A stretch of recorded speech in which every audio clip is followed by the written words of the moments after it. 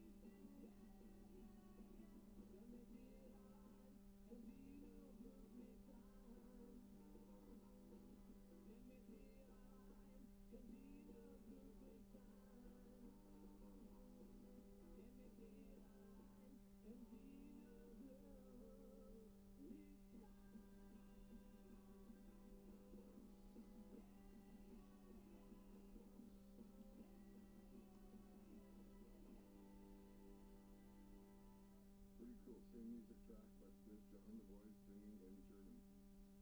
Now we're going to go to one of the most incredible singers I've ever heard, and you might agree, it's Christina Aguilera.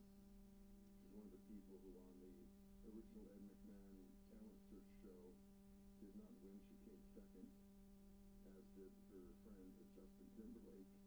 But whoever beat them in those contests, nobody ever heard of again. And we all know Justin went on to become him, and she went on to be a singing star. So it all goes to your belief in yourself and your momentum and what you're destined to do, and you keep at it even though you come second, because sooner or later, if you keep at it, the other people vanish. So Christina Aguilera, her first hit was Genie in a Bottle, written by David Frank, Steve Kipner, and Pamela Sheyne, from her self-titled album. I remember when I first heard this on the radio, I figured, wow, who's playing that kick drum? It's just so busy. It's like boom, boom, and then it made the song, everybody wanted that, and after that, everybody copied that. So here is Genio Atrapado, which means genie trapped in a bottle, I guess. Christina Aguilera, a Bottle,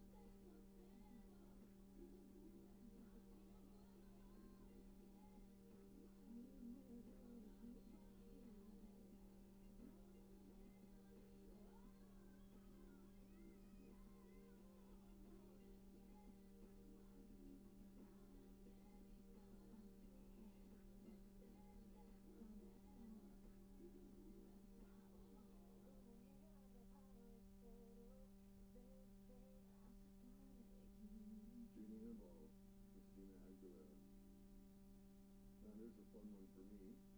Uh, when I was with BTO, Blackbridge and Overdrive, we had our hit doing See Nothing Yet, which was, I think, probably 97, 1975. It was number one in over 20 countries around the world, so consequently some other bands re-recorded it. And some just did it in English, and some did it in their own language, so we're going to play on this show a couple of the other versions. This is by the Spider Murphy Gang, who was named after the saxophone player in Jailhouse Rock. Remember Elvis Presley singing, Spider Murphy playing on the saxophone, over in the corner all alone. So they're named after that. They're called the Spider Murphy Gang. They're from Munich. There were three guys. They